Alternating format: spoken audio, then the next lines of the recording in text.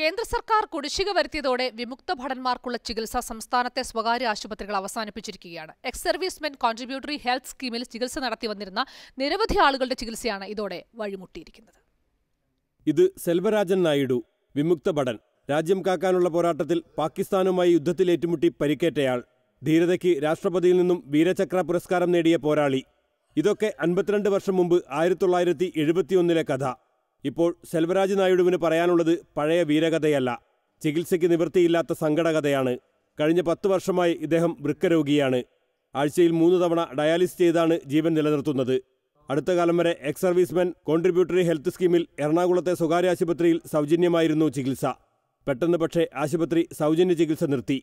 പിന്നെ മൂവായിരത്തി ലക്ഷം രൂപയായി.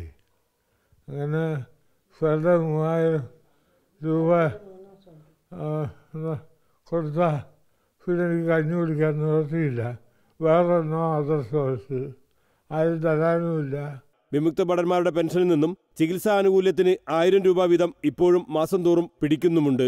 മിലിറ്ററിയിൽ അന്വേഷിക്കുമ്പോൾ അവർ പറയുന്നത് കമ്പാരിറ്റീവ്ലി ആ നോർത്തിലെ റേറ്റിനേക്കാളും കൂടുതലാണ് ഇവിടുത്തെ റേറ്റ്. റേറ്റ് കുറയ്ക്കാൻ നിങ്ങൾ ഹോസ്പിറ്റലുകാരോട് പറ എന്നൊക്കെ നമ്മളോട് പറയാം. നമ്മൾ എന്താ ചെയ്യണം? നമുക്കത് പറഞ്ഞ് അവർ കേൾക്കും. ഇത് ഒരാളുടെ മാത്രം അവസ്ഥയല്ല രാജ്യത്തിനു വേണ്ടി ജീവിതം സമർപ്പിച്ച നിരവധി വിമുക്ത ഭടന്മാരുടെ ഇപ്പോഴത്തെ ദയനീയ അവസ്ഥയാണ് അടിയന്തരമായ ഇടപെടലുണ്ടാകണമെന്നാണ് ഇവരെല്ലാവരും ആവശ്യപ്പെടുന്നത്.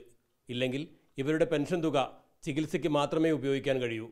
ഉപജീവനം വഴിമുട്ടും. കോലഞ്ചേരിയിൽ നിന്നും സോളമൻ റാഫേലിനൊപ്പം പ്രശാന്ത് നിലമ്പൂർ ഏഷ്യാനെറ്റ് ന്യൂസ്.